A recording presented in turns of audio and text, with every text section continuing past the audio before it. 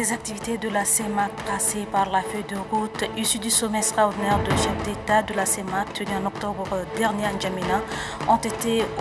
au, centre des entretiens lors d'une audience que le chef de l'État exhibite nos présidents en exercice de la communauté économique et monétaire d'Afrique centrale CEMAC a accordé ce matin une délégation de la commission de la CEMAC. Présenter la nouvelle équipe et la mission qui lui est assignée, tel est le but de l'audience que le président de l'Assemblée nationale, Aaron Kabadi, a accordé aux membres du nouveau bureau exécutif du comité olympique sportif tchadien, une délégation conduite par le président du COST.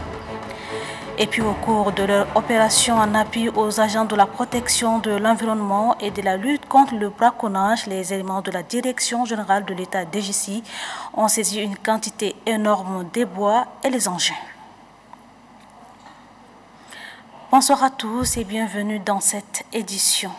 Le président de la République, Edith nos présents en exercice de la communauté économique et monétaire d'Afrique centrale CEMAC, a reçu ce matin en audience une délégation de la commission de la CEMAC conduite par le président de la commission professeur Daniel Ona Ondo et comprenant notamment la vice-présidente de la commission de la CEMAC, la Tchadienne Fatima Haram Assil. Les activités de la CEMAC tracées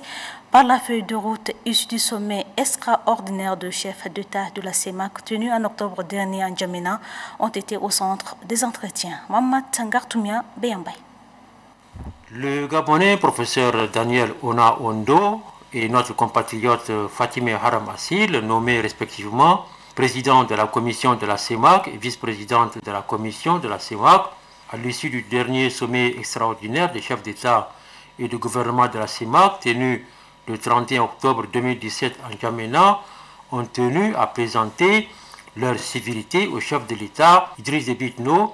président en exercice de la CEMAC, et en même temps lui présenter leurs meilleurs vœux à l'occasion de l'année nouvelle 2018. Au cours de l'audience, le chef de l'État était entouré du secrétaire général de la présidence, maître Jean Daré, et de son directeur du cabinet civil,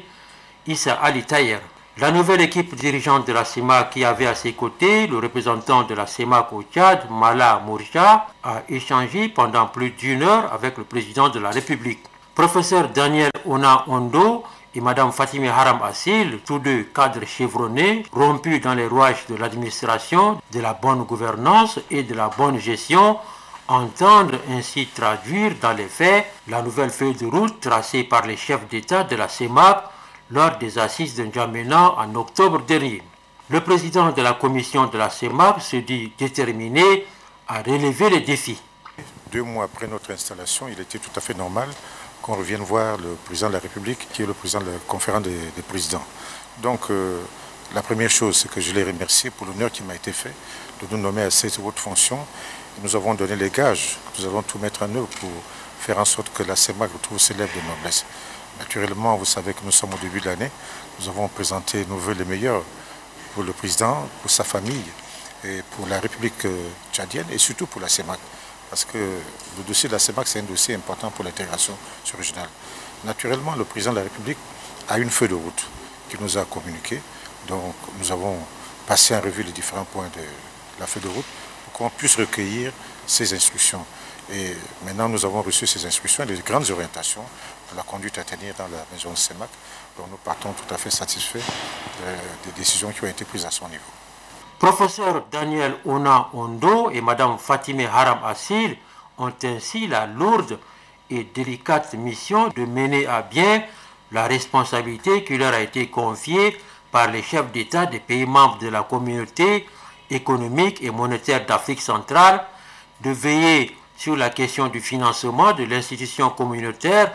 de renforcer les acquis de la CEMAC et de bien veiller surtout à l'application concrète et intégrale de la libre circulation des personnes et des biens en zone CEMAC. Condition sine qua non pour l'émergence d'une véritable intégration économique forte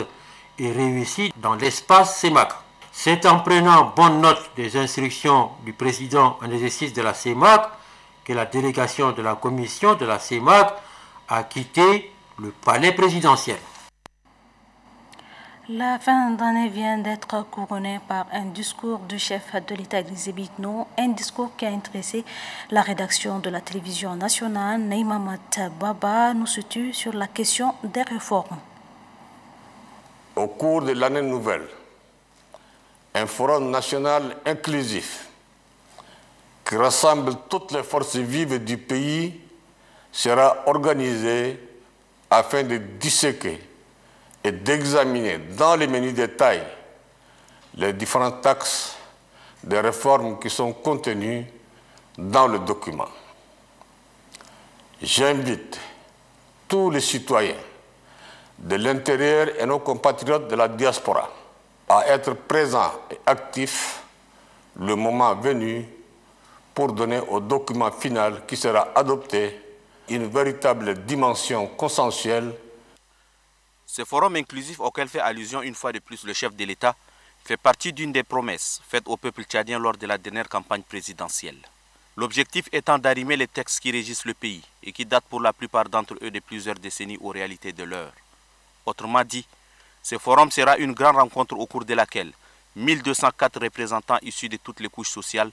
auront à se pencher sur les questions liées aux réformes institutionnelles contenues dans le programme politique du chef de l'État Idriss Déby Itno en vue de leur validation.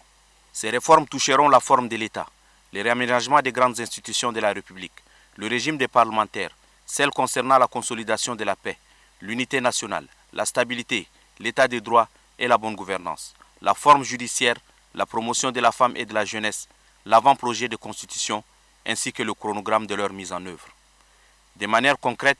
il s'agira de procéder à une analyse profonde du système institutionnel du pays afin de décider des solutions adéquates à y apporter attendu comme étant la plus grande rencontre entre les Tchadiens de toutes les sensibilités depuis la conférence nationale souveraine qui s'est déroulée en 1993, soit il y a 25 ans aujourd'hui, le forum à venir a également acquis l'adhésion des partenaires financiers et techniques.